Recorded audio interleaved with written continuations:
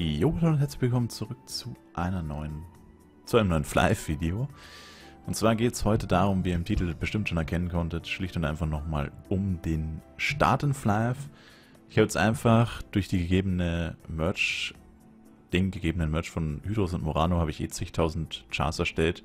Da habe ich mir jetzt einfach welche davon genommen auf Morano, weil es keine Rolle spielt. Ich werde die Chars niemals benutzen, alle. Also ich habe mir über 100 Chars erstellt, deswegen auch nummeriert. Und ich habe mir jetzt den mit der 69 ausgesucht. Einfach nur, weil es ein doppeltes Meme ist.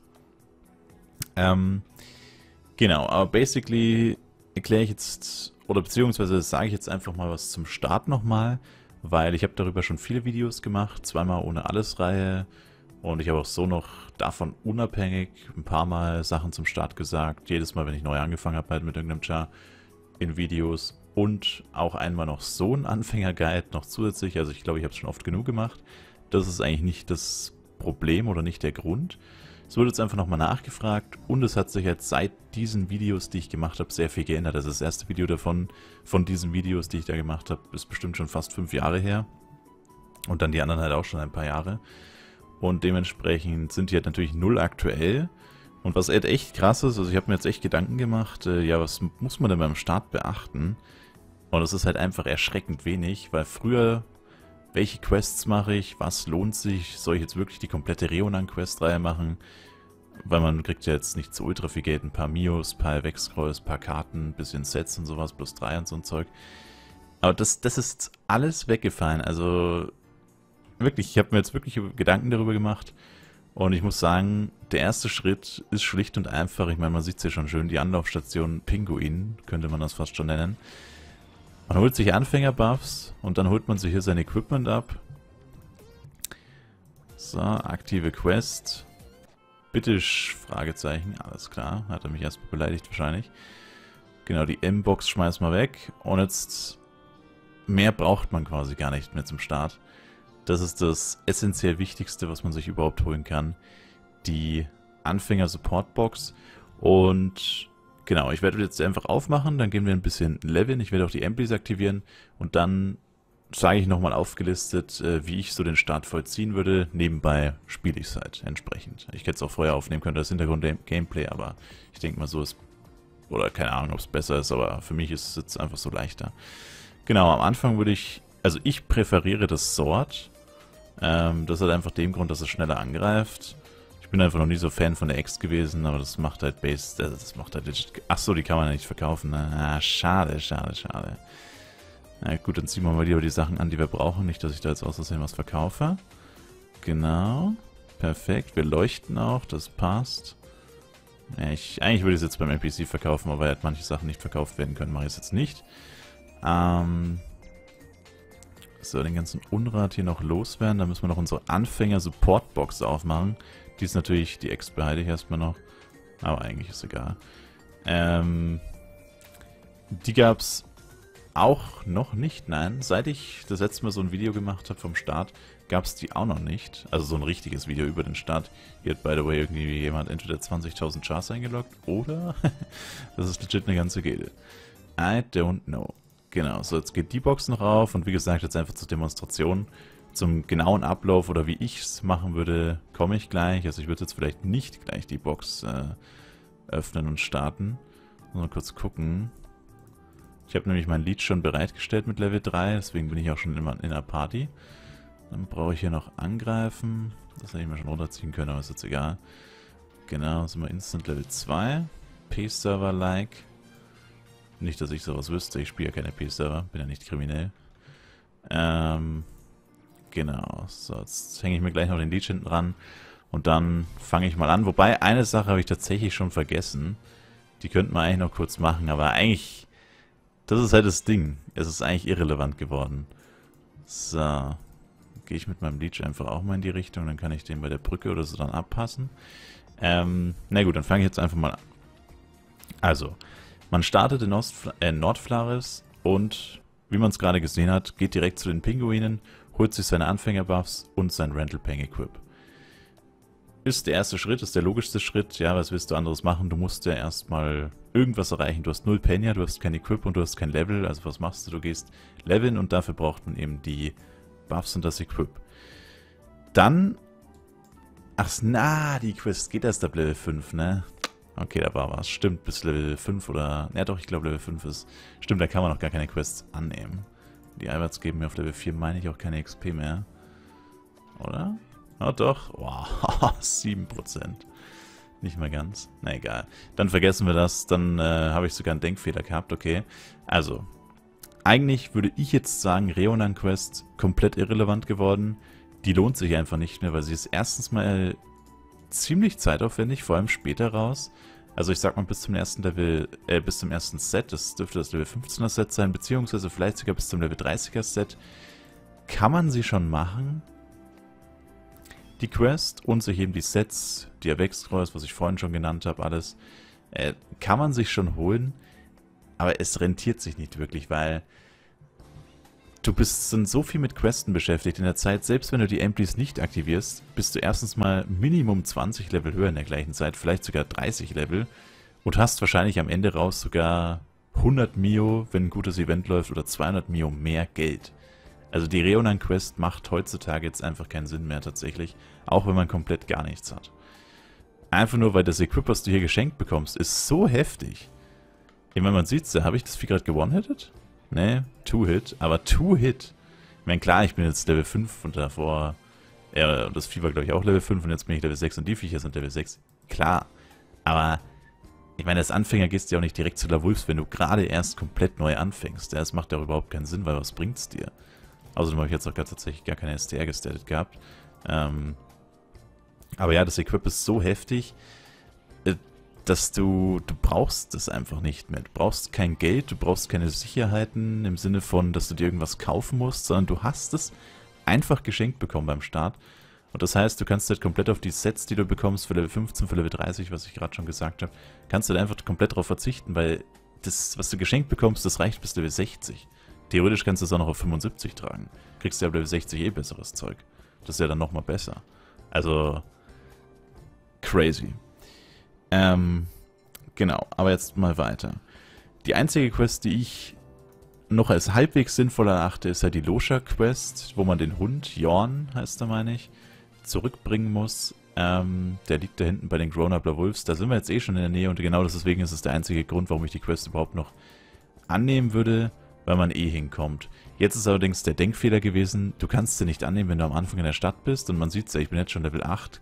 Wie gesagt, ja, ich habe die MPs an das beschleunigt das Ganze jetzt aber, wenn überhaupt mal ums, ja, Fünffache, weil es 500% sind, aber ja, im Endeffekt ist es nur eine kleine Zeitersparnis. Ist halt gut fürs Video, weil sonst müsste ich jetzt irgendwie eine Stunde oder so zocken und dann voll viel zusammenschneiden.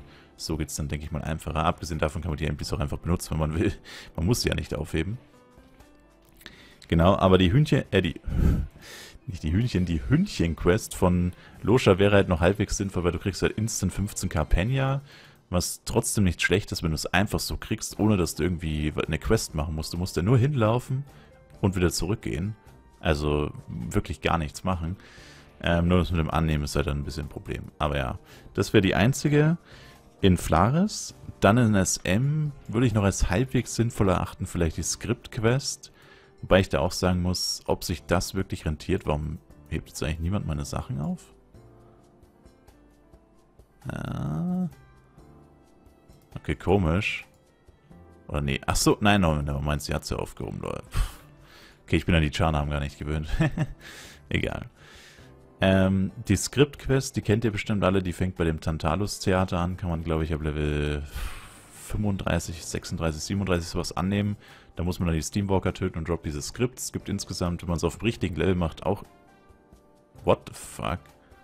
Okay. Nice Lex, Morano. Message angekommen.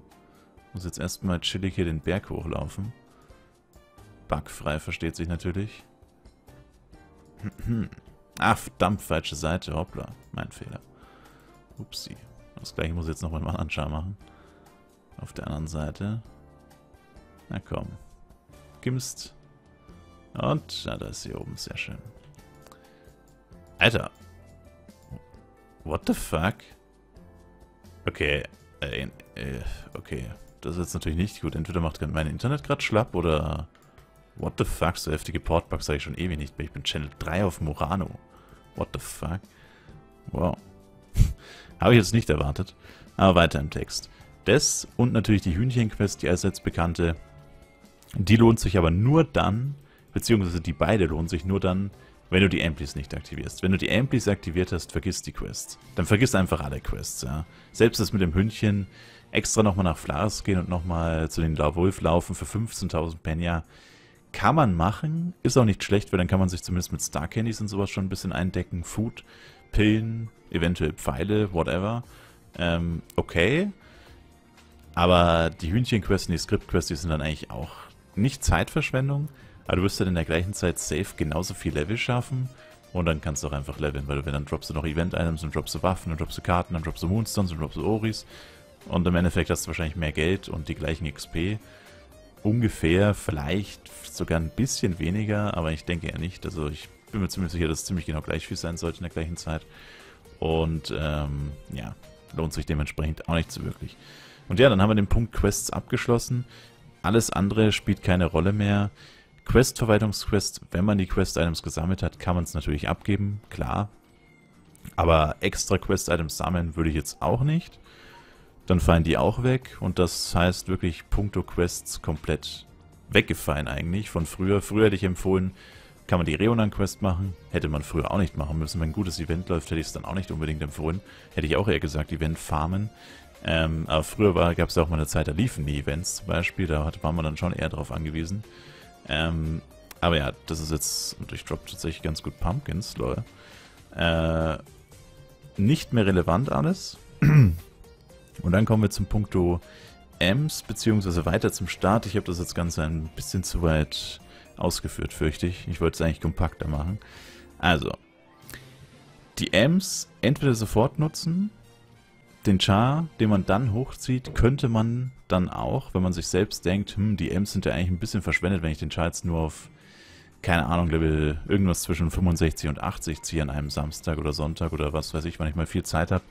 Sonst wird es sich natürlich überhaupt nicht rentieren, wenn ich nur Level 40 mache oder so. Ähm, oder wenn man nur Level 40 macht oder so. Ich habe das Staten vergessen. Ähm,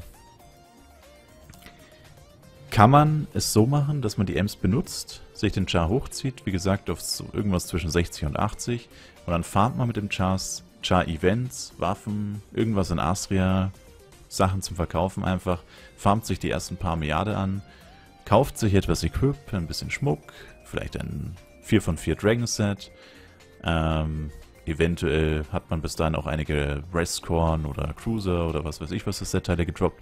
Ein bisschen was erweckt, hatte auch schon ein bisschen was zusammen, dass man zumindest ein bisschen mit leveln kann.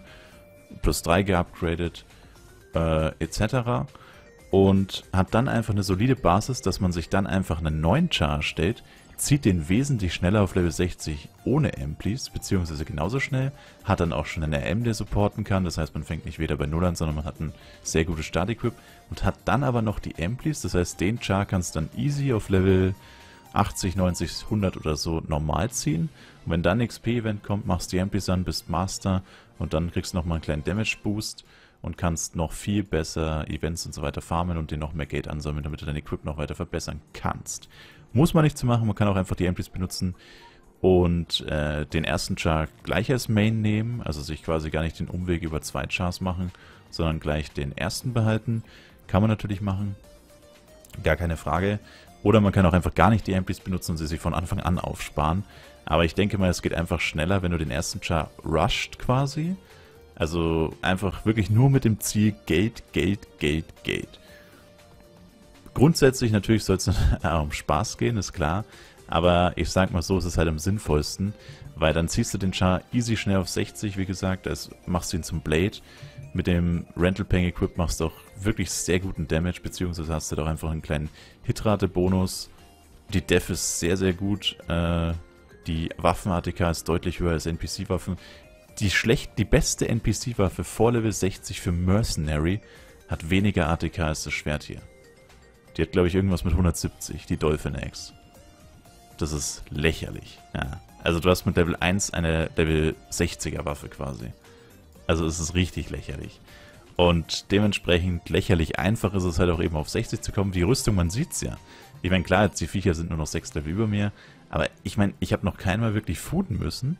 Einfach nur, weil es keine Rolle spielt, weil du einfach unbesiegbar bist mit dem Zeug. Das ist richtig, richtig, richtig krank. Ähm, genau. So, war ich jetzt stehen geblieben. Genau, habe ich alles schon gesagt. Ich habe es mir tatsächlich mal aufgeschrieben, sowas mache ich eigentlich nicht, weil es mich im Reden dann immer nur verwirrt. Also ich kann einfach nicht ablesen. Ähm, genau. Nö, habe ich eigentlich alles gesagt, das passt. Ähm, dann natürlich, was ich vorher schon, glaube ich, gesagt habe, RM direkt mit hochziehen, also unabhängig davon, was euer erster Char wird, also ob es jetzt ein Farm-Char wird oder ob es direkt euer Main wird, ob ihr ihn mit Amplis zieht oder ob ihr ihn ohne Amplis zieht, vollkommen irrelevant. Zieht euch auf jeden Fall instant einen RM mit hoch. Einfach nur aus dem Grund, was ich vorhin gesagt habe, damit könnt ihr euch neue Chars immer schon supporten. Selbst wenn er nur Level 60 ist, selbst wenn er Full STA ist, ist ja vollkommen egal. Es geht einfach nur darum, dass die Buffs Max sind. Ob es jetzt zwei Minuten halten oder zehn Minuten, ist ja vollkommen Wurst. Und ob der Support einen, oder der Ringmaster eine schnelle Magiebeschleuniger hat oder so, spielt alles keine Rolle. Es geht einfach nur darum, dass ihr euch dann selber buffen könnt. Und wenn ihr euch noch einen neuen Char hochzieht, einen neuen Farmer, einen neuen Main oder was auch immer, dann habt ihr einfach einen Support und das macht wirklich sehr viel aus. Also man sieht es jetzt hier, Legend Quickstep auf Level 20 würde jetzt hier übelst viel bringen. Heap Up tatsächlich nicht, das wäre jetzt ziemlich useless, aber auf jeden Fall Accuracy oder Accuracy Cannonball und Beef Up. Und natürlich Haste, ja. Bei Textspeed nachher war gut 54% ja doch. Also, ich sag mal, eigentlich, eigentlich basically alles außer Cat also alles, was dir Schaden oder eben Geschwindigkeit, Hitrate gibt. Das bringt auf jeden Fall einiges und ja, erleichtert halt einfach alles. Genau, jetzt sind wir schon Level 15, aber ich muss noch den anderen auf Level 15 ziehen, aber ich, wir werden jetzt eh nicht mehr großartig weitermachen. Ich werde jetzt wahrscheinlich noch die Quest machen, aber ich weiß jetzt nicht, wie viel Sinn das eigentlich noch ergibt. Jetzt dürfte der fertig sein, genau. Ähm, perfekt. Genau, das waren eigentlich so die Punkte, die ich auf jeden Fall erwähnen wollte. Es ist wirklich eigentlich, also das ist das Ding, warum ich jetzt eigentlich auch das Video von selbst aus, also ich wurde jetzt gefragt, ob ich nochmal so ein Video machen kann, tatsächlich von einem englischsprachigen Zuschauer.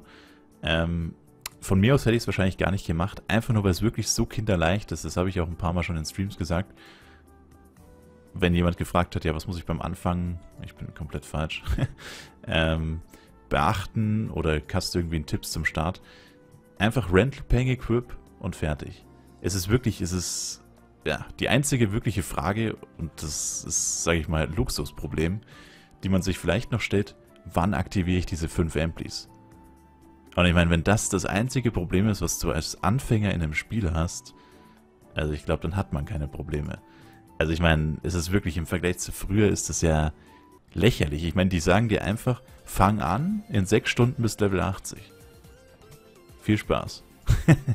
also es ist wirklich, es ist wirklich heftig. Also sechs Stunden ist vielleicht ein bisschen untertrieben. Level 80 ist ja doch nicht ganz so einfach, aber also auf jeden Fall Second Job ist sowas von ultra einfach. Das schafft jeder in ein paar Stunden. Und es ist richtig krass. Also, ich weiß nicht, was man da noch für Tipps geben muss. Ihr könnt es gerne in die Kommentare schreiben, dann kann ich es unter dem Video noch beantworten, wenn ihr noch irgendwelche Fragen hättet. Ich meine, die meisten von euch spielen wahrscheinlich schon, schon Flive oder haben es schon gespielt. Aber, also wirklich, das ist, das ist, fühlt sich fast schon so an wie so ein Auto-Quest-System, wo du im Endeffekt eigentlich gar nicht mehr wirklich spielst, sondern alles für dich gemacht wird. Also so fühlt sich fast schon an von der Leichtigkeit her. Ich meine, natürlich spielen musst noch selber, aber es ist also wirklich, es ist so simpel, das ist unglaublich. Und man sieht es jetzt auch, ich habe jetzt nur durch das, was ich bisher gemacht habe, nur durch die, nur durch Penya, das ich aufgehoben habe, die Items, die habe ich, äh, kann ich hier auf dem anderen Schau mal zeigen. Ich meine, das ist jetzt nicht viel. Die Waffen, die Level 15er Waffen, die dürften so roundabout 1000 Penya each wert sein. Ja, also sage ich mal, auf jeden Fall 5000 Penya hier noch, beziehungsweise sie hat ja auch Penya aufgehoben, also locker 5000 Penya noch von ihr. Ich meine, man braucht mal das Mercenary. Ah, doch, braucht man, okay. Ähm, so, wieder wechseln. Äh, habe ich bei ihr auch nochmal locker 7000 Penny oder so. Das heißt, ich habe jetzt schon nach der Second, äh, nach der First Job Change, habe ich auch meine 15.000 Penny quasi zusammen, die ich durch die Yorn Quest zum Beispiel bekommen hätte. Und bei Reonan, die fängt, glaube ich, erst ab, puh, Okay, da müsste ich tatsächlich nachschauen. Ich habe keine Ahnung, ob man die Reonan-Quest anfängt. Könnte sein, der will... Also die erste Quest ist der Wolfs töten, aber ich glaube, die fängt tatsächlich erst Level 15 an. Können wir uns gleich mal angucken, ob wir schon annehmen können. Ah ja, ich glaube, vor Level 15 geht's gar nicht. Ähm, auf jeden Fall, unabhängig davon, wann, für welches Level welche Quest wäre, einfach ignorieren. einfach ignorieren. Es spielt einfach keine Rolle mehr. Das ist, ich weiß nicht, ich kann es nicht oft genug sagen. Es ist echt lächerlich. Also mir fällt einfach wirklich nichts mehr ein. Das ist unglaublich. Jetzt machen wir das noch schnell fertig hier und ich würde sagen, dann mache ich Feierabend. Jetzt habe ich schon die 20 Minuten geknackt. Das wollte ich wirklich nicht. Vor allem, weil ich auch noch ein bisschen Untertitel dann schreiben soll. Auf Englisch für die wichtigen Sachen. Aber eigentlich, es gibt halt keine wichtigen Sachen. Genau, also wie viel hat die jetzt? 7500. Setzen wir einfach mal Pi mal Daumen. Ich meine, gut, die hat jetzt natürlich nicht viel Wert im Inventar. Oh, was? Die waren 1000 wert? Wow. Oh Leute, jetzt wollte ich das Bullhamster verkaufen. Wir haben sogar eine Treasure Chest gedroppt, nice. Ja, also die kommt auf fast 10.000. Ja. Das Petfood wäre vielleicht sogar mehr wert gewesen, aber spielt ja keine Rolle. Fast 10.000 und die andere alte kommt locker auf 7.000, 8.000. Also 20.000 Penya, das würde sogar reichen, um sich ein bisschen für Level 15 Zeug zu kaufen. Muss man ja aber eben nicht, das ist ja das Schöne. Und jetzt würde man einfach so weitermachen. Du levelst, levelst, levelst. Du musst eigentlich wirklich nichts machen außer leveln. Keine Quests, nichts, nada, niente. Levelst auf Level 60, Job Change, null Problem. Selbst für dein FS ist jetzt die Job Change kein Problem. Du holst dir einfach die gleiche Box mit deinem FS auf Level äh, 60 oder wann auch immer, ist ja vollkommen egal, du kannst dir jeden Tag holen. Ähm, ziehst sie an, er hat eine gute, solide Def, er hat eine gute, solide, einen guten, soliden Grundschaden, ein bisschen Genauigkeit, reicht absolut. Dann kannst du auch mit dem AM easy weniger, weniger killen, selbst wenn er Full Int ist. War früher auch immer ein bisschen ein Problem, wenn man komplett neu angefangen hat mit Full Int FS die Job Change zu machen. Da musste man sich immer die Schilder und sowas rüber traden und hat dann viel Food gekostet und eventuell ist man trotzdem gestorben, weil man rechter Struggle ist jetzt auch überhaupt kein Problem mehr. Und ähm, ja, also wirklich ist es eigentlich lächerlich. Also dafür braucht man eigentlich wirklich kein Tutorial mehr, würde ich fast sagen. Und ähm, ja, dementsprechend würde ich hier an dieser Stelle, oh mein Leech tatsächlich, oh mein Leech, oh mein Gott, mein Leech hat tatsächlich 2 HP. RIP, die wurde gerade beinahe von einem Bang gekillt. Aber ist jetzt egal. genau. Ja, ansonsten, wie gesagt, sollte irgendjemand mal irgendwann eine Frage hierzu haben, kann auch in sechs Monaten sein, weil ich werde auf das Video hier in meinem Stream wahrscheinlich verweisen immer. Ähm, schreibt sie einfach in die Kommentare und dann, jo. Äh, vielleicht noch eine kurze theoretische Ausführung, wie es weitergehen könnte. Also, wie gesagt, man levelt und levelt und levelt, wird Level 60. Macht mit beiden Chars die Job Change. Natürlich mit dem RM bist du wahrscheinlich erst ein bisschen später, selbst wenn du bei beiden die Empties aktiviert hast.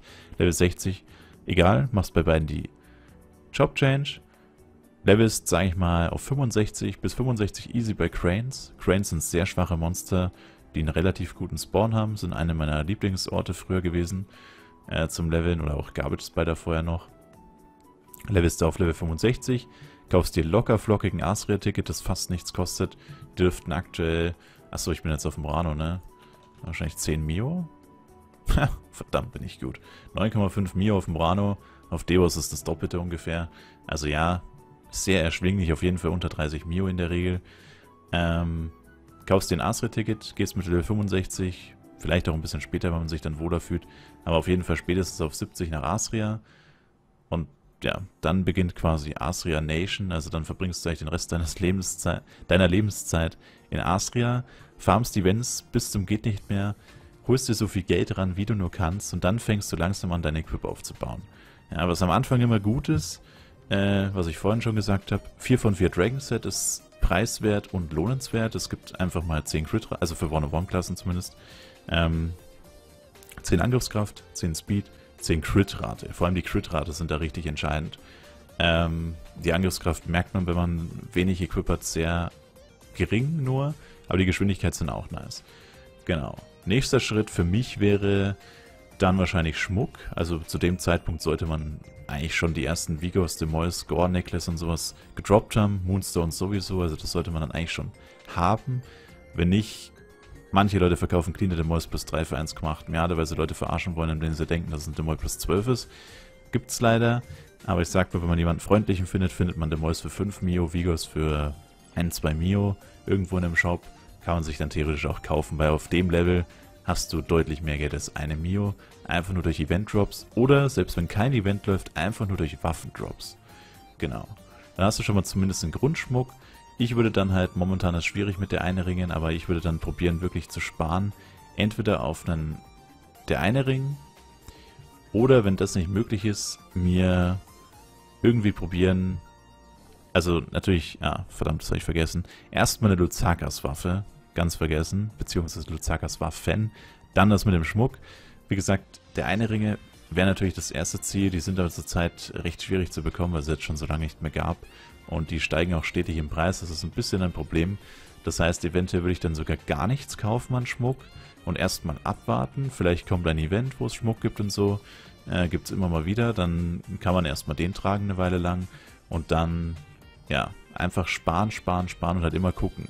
Weil durch gedroppte Setteile und so kann man sich ja die ersten Sets, sag ich mal, ein bisschen selber zusammenstellen.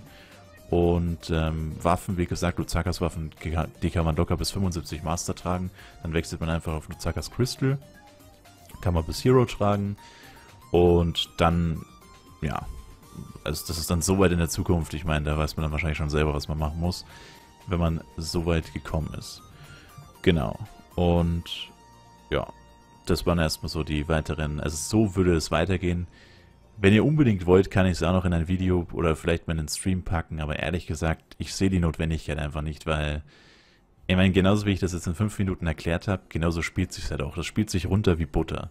Also wirklich, das ist, in der heutigen Zeit Flife anzufangen, ist halt GG well played.